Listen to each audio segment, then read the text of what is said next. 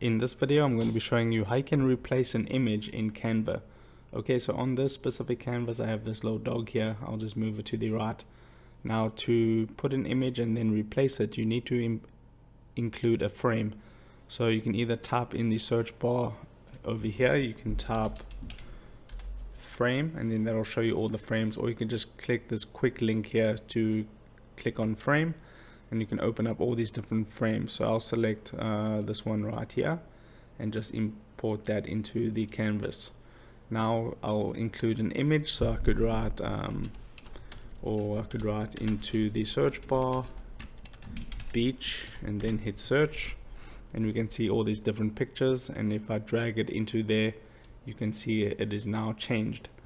In and you can see it is now being put into that frame. Now to replace that you simply just click on the frame hit the delete button on your keyboard and then you can take another image and put it in the frame. And that's basically how you can replace an image within Canva. So that's it. If this video helped you out don't forget to drop a like onto it and subscribe for more and I'll see you in the next video. Take care